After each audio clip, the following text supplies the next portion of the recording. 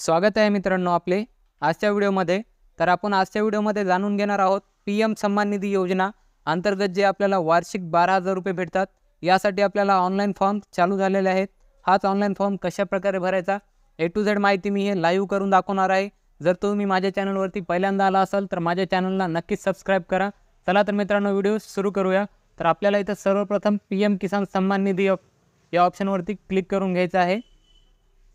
इथं क्लिक केल्यानंतर मित्रांनो तुम्ही बघू शकता अशा प्रकारे आपल्या पुढे एक फॉर्म ओपन झालेला आहे. इथं आपल्याला न्यू फॉर्मर रजिस्ट्रेशन इथं क्लिक करून घ्यायचं आहे. इथं क्लिक केल्यानंतर सर्वप्रथम तुम्ही बघू शकता न्यू रजि फॉर्मर रजिस्ट्रेशन अशा प्रकारे आपल्या पुढे आलेलं आहे. इथं आपल्याला जर तुम्ही ग्रामीण भागातील असाल तर इथं रो रोरल सिलेक्ट करून घ्या. जर तुम्ही शहरी भागातून असाल तर इथं अर्बन आपल्याला सिलेक्ट करून घ्यायचं आहे तर मी ग्रामीण भागातून आहे तर इथं मी रुरल सिलेक्ट करून घेतो. त्यानंतर आपल्याला इथं आपला आधार कार्ड क्रमांक इथं मोबाईल नंबर आपल्याला टाकून घ्यायचा आहे. इथं आपला राज्य आपल्याला सिलेक्ट करून घ्यायचं आहे. आणि इथं आपल्याला कॅप्चर कोड टाकून गेट ओ टी पीवर क्लिक करून घ्यायचं आहे. तर मी माझी माहिती इथं भरून घेतो. माहिती इथं मी भरून घेतलेली आहे. त्यानंतर गेट ओ टी पीवर क्लिक करून घेतो. तर मित्रांनो तुम्ही बघू शकता इथं आपल्याला मोबाईल नंबरवरती एक ओ टी पी आलेला आहे. तो ओ टी पी आपल्याला इथं टाकून घ्यायचा आहे. आणि इथं आपल्याला परत एकदा कॅप्चर कोड टाकून सबमिट करून घ्यायचा आहे. तर मी एकदा माझा ओ टी पी इथं टाकून घेतो. ओ टी पी टाकल्यानंतर आपल्याला सबमिट करून घ्यायचं आहे. तुम्ही बघू शकता मी ओ टी पी आणि कॅप्चर कोड टाकला आणि इथं सबमिट करून घेतलेला आहे. हे फॉर्म सबमिट झाल्यानंतर जो आपल्या आधार नंबरवरती मोबाईल नंबर लिंक आहे त्याच्यावर एक ओ टी पी आलेला आहे. तो आपल्याला ओ टी पी इथं टाकून घ्यायचा आहे. ओ टी पी टाकल्यानंतर व्हेरीफाय ओ टी पी या ऑप्शनवरती क्लिक करून घ्या. तर मित्रांनो तुम्ही बघू शकता आपल्या पुढे हा फॉर्म ओपन झालेला आहे. सर्वप्रथम आपला इथं जिल्हा सिलेक्ट करून घ्यायचा आहे आपल्याला.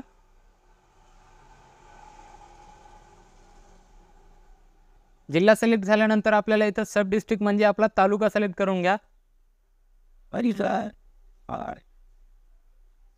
जे काही तुमचा तालुका आहे त्यानंतर इथं ब्लॉक म्हणजेच आपल्याला सर्कल इथं निवडायचं आहे. आपलं जे सर्कलमध्ये आपण येतो ते सर्कल निवडा. त्यानंतर आपलं जिथं शेती आहे ते आपल्याला गाव इथं सिलेक्ट करून घ्यायचं आहे. तर इथं बघू शकता मित्रांनो आपल्या आधार कार्डवर तर आपण ओ टी पी घेतल्यामुळं आपली नाव ॲटोमॅटिकली इथं आलेलं आहे. मेल फिमेल जे काही आहे ते ॲटोमॅटिकली इथं आलेलं आहे. त्यानंतर आपल्याला इथं आपली कॅटेगरी सिलेक्ट करून घ्यायची. S C S C O B C जे काही तुम्ही मोडत असाल तर इथं सिलेक्ट करून घ्या. तर मी इथं जनरल सिलेक्ट करून घेतो. त्यानंतर इथं फार्मर टाईप आपल्याला सिलेक्ट करून घ्यायचं आहे जर तुम्ही स्मॉल असाल तर स्मॉल करा. एक हेक्टर किंवा दोन हेक्टर असाल तर तुम्ही स्मॉल करा त्यापेक्षा जास्त असाल तर तुम्ही अदर सिलेक्ट करून घ्या. त्यानंतर इथं बघू शकता आधार आय ॲथेंटिकेशन आपण केलेलं आहे तर त्यामुळे इथं डॉक्युमेंट आधार कार्ड येईल. त्यानंतर इथं आपल्या आधार कार्डवरचा ॲड्रेस येईल. इथं आपल्याला मोबाईल नंबर टाकून घ्यायचा आहे. इथं आधार कार्डवरती जो ॲड्रेस आहे तोच ॲड्रेस इथं ॲटोमॅटिकली आलेला आहे पिनकोड आलेला आहे. इथं आपल्याला वडिलांचे नाव आपल्याला टाकून घ्यायचे त्याच्यानंतर इथं बघू शकता लँड डिटेल हा लँड नंबर म्हणजेच तुम्ही बघू शकता एक सातबाऱ्यावरती एक नंबर असतो. यू एल पिन हा यू एल पिन आपल्याला इथं टाकून घ्यायचा आहे. तुम्ही बघू शकता इथं यू एल पिन तर हा नंबर आपल्याला इथं व्यवस्थित कॉपी करून घ्या किंवा टाईप करून घ्या आणि इथं व्यवस्थितरित्या टाकून घ्या. तर इथं तो नंबर मी इथं टाकून घेतो. हा नंबर टाकल्यानंतर इथं राशन कार्ड नंबर म्हणजेच आर सी नंबर आपल्याला इथं टाकून घ्यायचा आहे.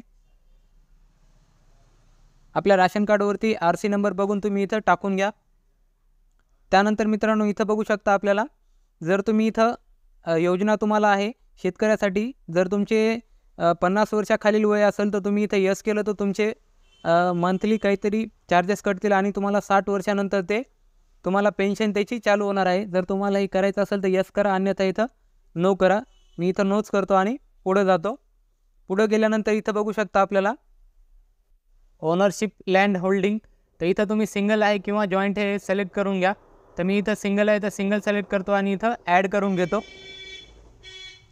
तर ॲडमध्ये तुम्ही बघू शकता मित्रांनो सर्वप्रथम आपल्याला सर्वे नंबर हे टाकून घ्यायचा आहे. सर्वे नंबरमध्ये तुम्ही इथं खाता नंबर इथं टाकून घ्या. तर हा खाता नंबर तुम्हाला कुठं असते एकदा मी दाखवून घेतो. तुम्ही आठ ओवरती बघू शकता हा तुम्हाला खाता नंबर भेटून जाईल. जेव्हा तुम्ही सातबारा डाउनलोड के केला होता त्यावरती आठ वरती तुम्हाला हा भेटून जाईल. तर सर्वे नंबर इथं व्यवस्थित टाकल्यानंतर आता पुढं तुम्हाला खासरा नंबर टाकून घ्यायचा.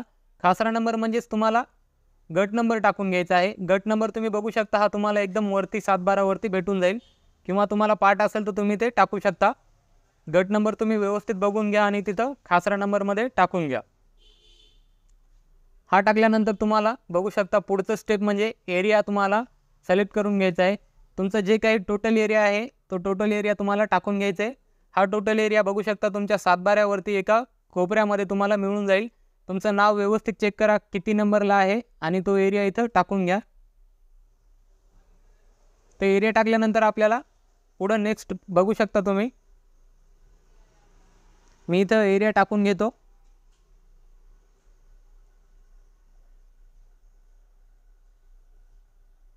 एरिया हे व्यवस्थित टाकून घ्या. तुम्हाला नंतर अडचण येणार पुढे. तर इथं मी मित्रांनो एरिया टाकून घेतलेला आहे. तुम्ही बघू शकता हा माझा एरिया आहे. तर मी इथं एरिया ते टाकून घेतो. एरिया टाकल्यानंतर इथं विचारत आहे तुमची जमीन मित्रांनो इथं दोन हजार एकोणीसच्या अगोदर तुमच्या नावावरती असली पाहिजे तरच तुम्ही या योजनेचा लाभ घेऊ शकता. जर दोन हजार एकोणीस नंतर तुम्ही वीस एकवीसमध्ये जर तुमच्या नावावर जमीन केली असेल तर तुम्हाला योजनेचा लाभ भेटणार नाही. तर बिफोर दोन हजार एकोणीस मी याच्यावर क्लिक करून घेतो. त्यानंतर तुम्हाला शेती कशा प्रकारमध्ये मिळालेली आहे ते तुम्हाला इथं सिलेक्ट करून घ्यायचं आहे. तुम्हाला गिफ्टमध्ये मिळालेली आहे किंवा तुम्ही घेतलेली आहे हे सर्व प्रकार इथं दिलेले आहेत. जे काही तुम्हाला योग्य वाटते म्हणजे जे काही तुमच्या तुमच्या याच्यामध्ये बसते ते तुम्ही इथं सिलेक्ट करून घ्या. त्यानंतर मित्रांनो इथं बघू शकता आता शेवटची स्टेप म्हणजे तुमच्या नावावर फेरफार कधी झालेला आहे ती तुम्हाला इथं तारीख टाकून घ्यायची आहे. तर ही फेरफार तारीख तुम्हाला तुमच्या सातबाऱ्यावरती एकदम खाली मित्रांनो मिळून जाईल. मी तुम्हाला एकदा दाखवून घेतो.